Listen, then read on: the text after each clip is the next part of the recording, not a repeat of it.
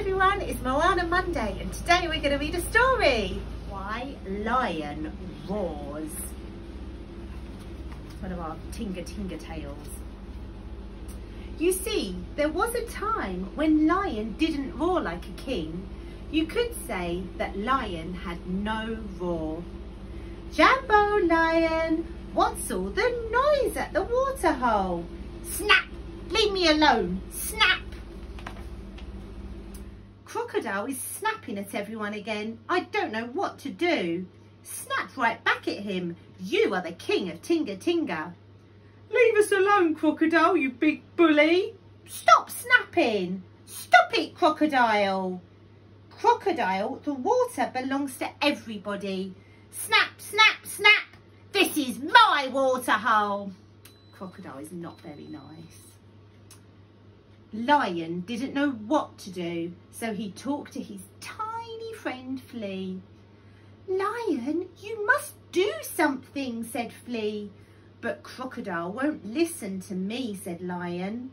No one ever listens to me, said Flea. That's because you're so tiny, Flea. But you are the king of Tinga Tinga. You must do something, said Flea. But Lion just sighed and did nothing. This is not nature's way, said Flea sadly. All the animals gathered to talk to Lion. Your Majesty, said Tortoise, the animals need their waterhole back. You are our king, so you must stand up to Crocodile. Say something, Lion, say you will, whispered Flea. I I will, said Lion nervously. So Lion went back to the waterhole to talk to Crocodile. Um, uh, Crocodile, said Lion, uh, the animals would like their waterhole back. I think it's time you played fair, don't you? And how are you gonna make me do that, said Crocodile.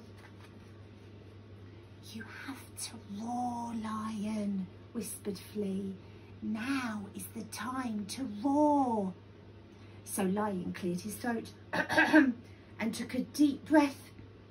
But, uh, uh, um, nothing came out. Lost for words, are we, Lion? sneered Crocodile.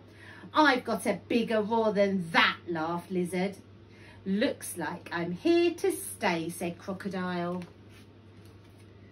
Lion was so ashamed that he went far, far away from all the animals. Let's face it, Flea, I'm not a born king. I don't roar like a lion and I don't sound like a king. That's because you have to feel like a king before you can sound like one, said Flea. Look at me. I'm tiny on the outside, but I feel really big on the inside and I can do really big things like somersault and hop and I can even roar. But I don't have a roar, said Lion sadly. I know how you can find your roar, said Flea, in the great cave of Tinga Tinga. Come on. So Lion and Flea went all the way to the great cave of Tinga Tinga. But no beast has ever dared set foot in there, said Lion. Lion, you were born king of Tinga Tinga and you must stay king of Tinga Tinga.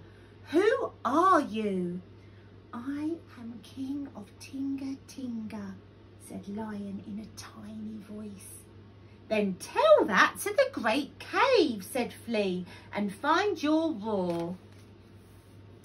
So Lion stepped into the great cave and said, I am king of Tinga Tinga. Who are you? I am king of Tinga Tinga. Who are you? answered a big voice.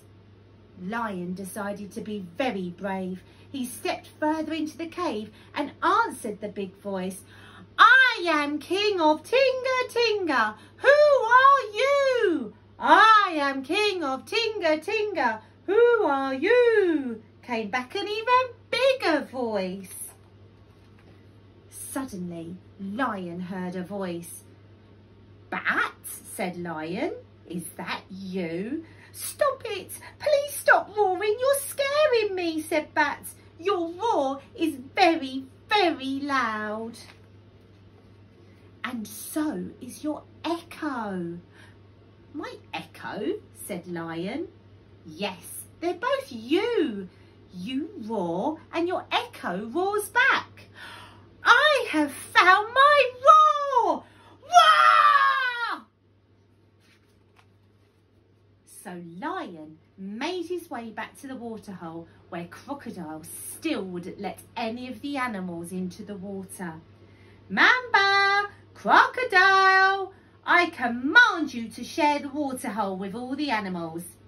Snap, snap, how are you going to make me do that?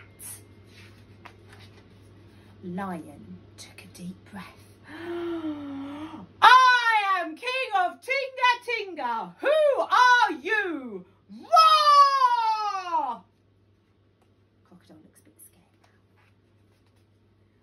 Crocodile was so frightened that he ran away. All the animals happily jumped into the water. Karibu, welcome to your waterhole, roared Lion. Lion is the king. Ha ha, look at Croc. Look at that Croc run. Lion is the king. The king of Tinga Tinga is back. From that day on, Lion ruled over Tinga Tinga and he only used his big scary roar when he absolutely had to. And that's why Lion roars! And why Flea jumps? Well, that's a whole other story.